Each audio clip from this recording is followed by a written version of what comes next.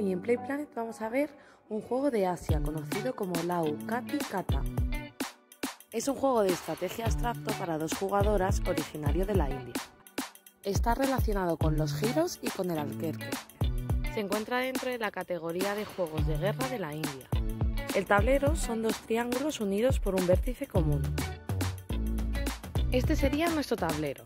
Como veis, solo hemos tenido que dibujar primero con un lapicero y luego repasándolo con un rotulador dos triángulos que se unen en el centro, como si fuera un reloj de arena.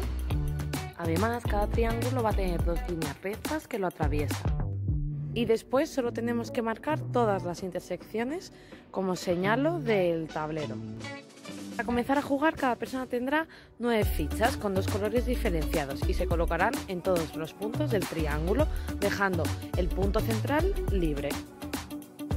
Cada turno podremos mover a otro punto adyacente del tablero o comer una ficha a la persona contraria. Ahora solo tenemos el punto central libre, por lo que comenzaremos. Puede hacer un movimiento por turno. Y para comerse una ficha de la otra persona solo habría que saltarla por encima a un punto siguiente que esté vacío y esta se retiraría del tablero. Por tanto, se puede mover y saltar.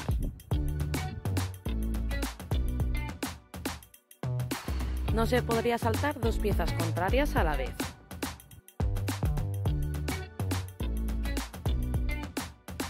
Tampoco se podría saltar una ficha propia. Y por último sí que podría hacerse dos saltos consecutivos, como en este ejemplo, y comerse dos fichas de la otra persona. Ganaría aquella persona que consiga comerse todas las piezas de la persona contrincante o que dejara a la otra persona sin poder realizar ningún tipo de movimiento.